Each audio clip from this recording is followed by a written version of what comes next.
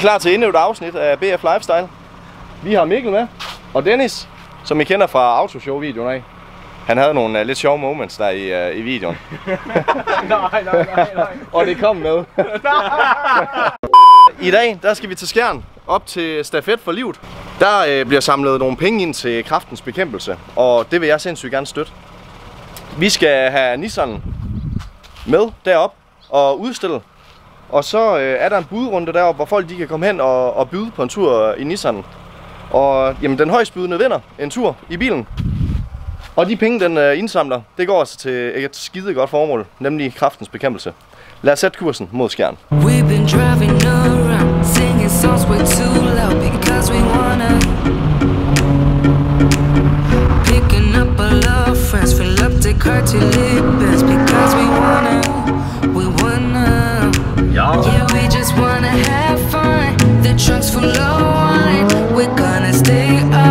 the time of our lives. The night is young,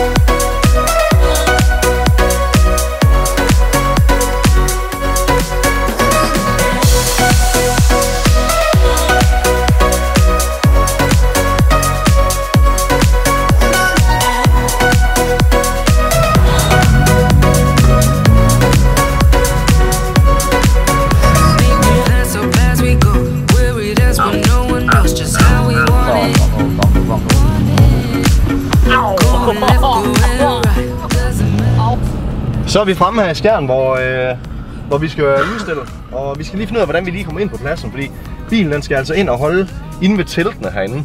Øh, hvor folk de kan stå og se på bilen, og sådan så de, øh, de ved, hvad det er, de byder på. Hej! Så ind han løb på, derhen til Ja, super. Det er Ja, sjovt,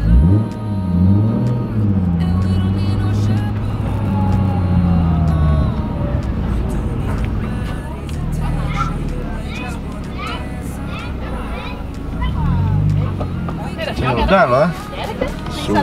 Så. Ja. Bro, is that carbon? Så er vi fremme i Skjern, og Nissan er parkeret her ved siden af det telt, hvor folk de, øh, kan byde på bilen. Øhm, vi har faktisk smidt et, øh, en sæd i forruden af bilen, hvor folk de så lige kan se, hvad det er, de byder på. Og så er der altså bud, øh, budrullen herover, tror jeg, de kalder den, hvor folk så kan gå hen og, og byde på de her forskellige ting, som er sponsoreret herude.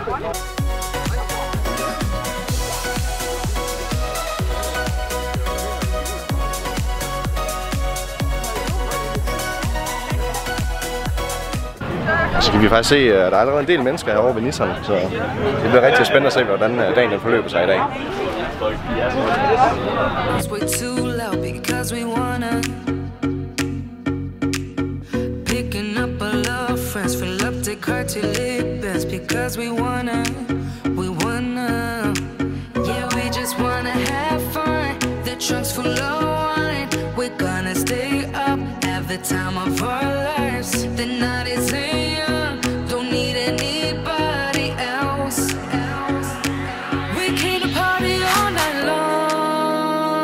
Rigtig flot øh, fremmøde herude i dag, var der ikke? Ja, ja. Der er mange. Og det fede er, at folk herude, de sætter altså en hel dag af til at komme ud og prøve at gøre en forskel. Prøve at bekæmpe den her trælse sygdom, kraft her. Alle de mennesker, der er her i dag, de er her altså for at, at støtte op øh, og bidrage øh, for at nedkæmpe den sygdom her. Det er respekt. Og ved I hvad? Vi er her også lige nu, så vi støtter også op, drenge. Ja. ja. Det er til et godt formål. Skide fedt. Hvad er Mikkel? Ja. Hvad var det, vi skulle? Vi skal have maling i hovedet. Skal vi have maling i hovedet? Ja. Hvad for noget maling? Ansigtsmaling. Ansigtsmaling. Ja. Hvor kommer det hen? Du, var derovre af? Nå, og hvad skal vi have malet? Ryzen Son og BF Lifestyle i dit hoved. Det er fandme i orden. Det er vi godt da. Skal du også? Ja, kom nu. Jo, kom nu, kom nu. Kom nu. Fedt. Det skal vi fandme, drengen. Vi skal over og, og have noget sminke i hovedet. Det er, det er helt sikkert. Hvor var det henne? Det var vist ja, lige derovre ved siden af teltet. Nå, her? Ja. Ja, det kan jeg da godt se. Ej, hvor fedt. Sådan. Det kunne altså også være sjovt, hvis du fik malet sådan noget der. Ja. Ja. Jeg, jeg vil hellere have Ryzen Son. Og så øh, BF Lifestyle i hovedet. Skulle du ikke have det? Men var det ikke dig, der skulle have det? Jamen, det skal vi da alle sammen. Så gør vi det. Fedt.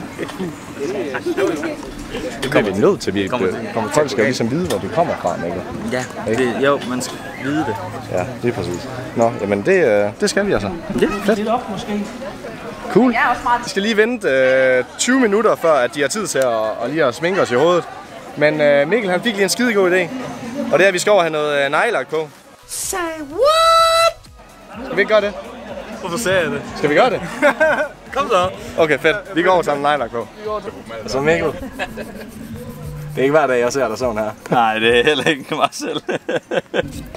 Og der er mange ting, du ikke ved, Brian. Ja, åbenbart. det, det, det allerfedeste, ikke? Og det er lige, at øh, Mikkel han starter ud med at få nejlak på. Og øh, nu får vi altså lige at vide, at øh, vi ikke lige kan nå flere i dag. Så det er faktisk kun Mikkel, der kommer til at gå. og lave din. Okay, så ellers så skal vi tage Dennis. Nej, jeg synes faktisk, du starter, Brian. Nå, jamen så tager, øh, så tager jeg en forholdet her. Fint nok, så gør jeg det også. Nej. Få se. BF Lifestyle. Hvad så Mikkel? Ej, det er sgu da fint det der. Det skulle vi have på til rejsbranden, det der. Ja. Jeg synes, du er stille. Ja. Hvorfor? Fordi det er rart. Mit ansigt, det strammer. Ja, men jeg kan godt lide... Øh... Vi mangler bare lige, der står BF Lifestyle. ja. Det var planen, at hun skulle gå og sælge det her, så skulle jeg male. Øh, og jeg har øvet mig Det er fucking klart. High five. Ja. Tusind tak. Det der, det er bare smukt, det er. Det er mega fedt. Fedt, fedt. Helt vildt.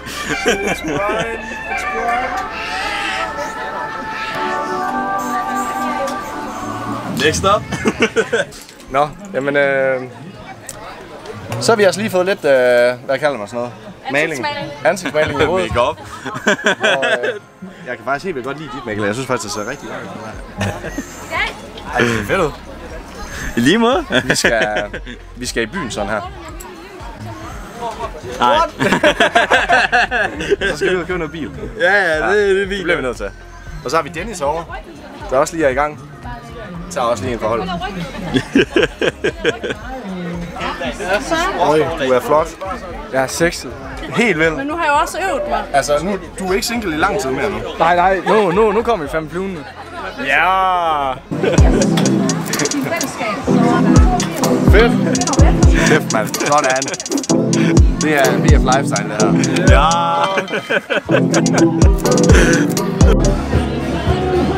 Jeg har følt et glask, og så tror jeg, jeg ser lidt mærkelig ud nu.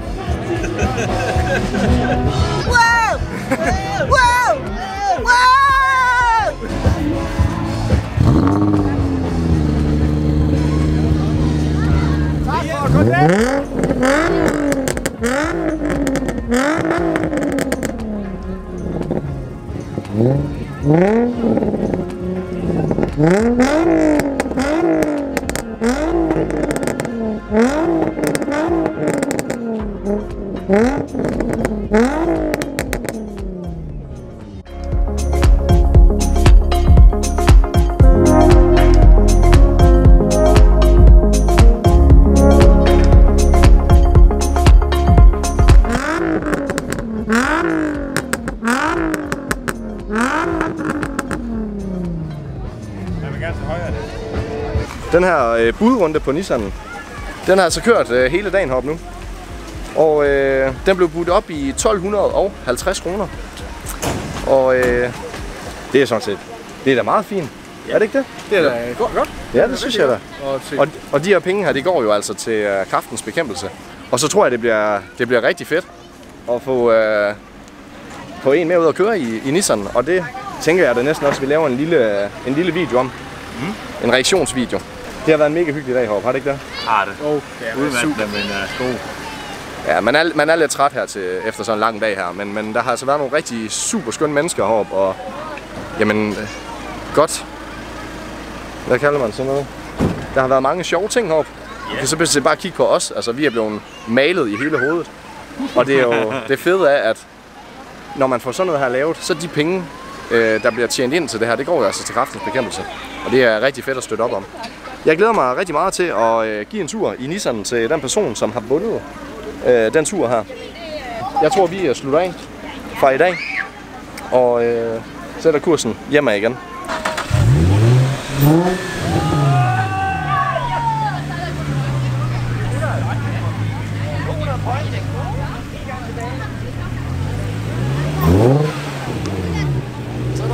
Kører du nu, eller hvad? bare gerne have et billede med dig, inden du tager afsted. Ses her.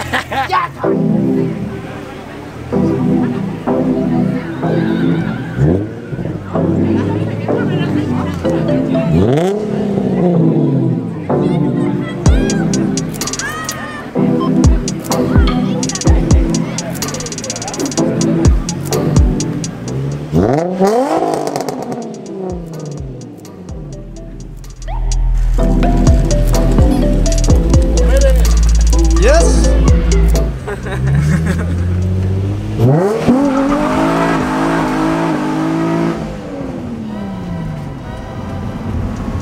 Vi har sat kursen hjem efter en lang dag ude ved Stafet øh, for livet i Skjern. Og det har været en vanvittig god dag. Øh, Vi har fået en masse snakke med en masse folk herude. Og øh, været rundt på pladsen og hygget. Drenge hygget lidt. Øh, det er altså også altid fedt lige at komme ud med kammeraterne og te sig lidt åndssvagt en gang imellem. Det, det skal jeg sgu til. Og, og øh, jamen, så har vi jo fået indsamlet nogle penge til kraftens bekæmpelse. Og øh, bilen her, den, øh, den blev altså solgt øh, en tur for øh, 1250 kroner. Og de penge, det går altså til kraftens bekæmpelse, hvilket jeg har det rigtig, rigtig godt med. Øh, og, og have doneret til et sindssygt godt formål. Og så bare være ude og hygge. Det har været en rigtig, rigtig dejlig dag. Og øh, jeg glæder mig rigtig meget til at give vinderen af den øh, budrunde, der har været på Nissan, en tur i, i Nissan. Så er vi hjemme igen, og jeg har været i bad og få øh, alt det her krigsmaling vasket af hovedet. Så jeg ser lidt mere normal ud igen. Det har været en sindssyg fed dag i Skjern. Få indsamlet nogle penge til det her kraftens bekæmpelse. Det, øh, det gør sgu en glad. Jeg har været i kontakt med vinderen øh, af den budrunde her, som skal have en tur i den Nissan her. Men jeg har en overraskelse. Både til ham, men også til jer. Og det her, det bliver mega stort. Det er noget, der kommer til at ændre øh, kanalen lidt. Og øh, noget, som vi alle sammen kan få, øh, få øh, glæde af på kanalen. Så det glæder jeg mig ekstremt meget til at vise jer. Hvis der er nogen af jer, der har et bud på, hvad den her overraskelse er til kanalen, så kommenter lige ned i øh, kommentarfeltet. Husk at tjekke BF Lifestyles hjemmeside ud og tilslut jer den her familie, som BF Lifestyle altså er ved at blive. Vi er over på næsten 16.000 subscribere nu, og øh, vi vokser og vokser. Så hjælp os lige med at komme, komme højere op. Køb en hoodie, en t-shirt, en cap, et eller andet sådan til, at, at man kan se, at I øh, følger med på kanalen. Og hvis I møder nogle andre, som også har det her merch på fra BF Lifestyle, jamen så giv lige en high five. Sådan til, at vi alle sammen føler, at vi er en, en, en del af et fællesskab. Og en del af den her familie, som vi altså i fællesskab er ved at starte op. Så husk lige at tjekke hjemmesiden ud. Jeg glæder mig rigtig meget til at vise jer den her overraskelse, som øh, kommer på kanalen. Meget snart håber jeg på.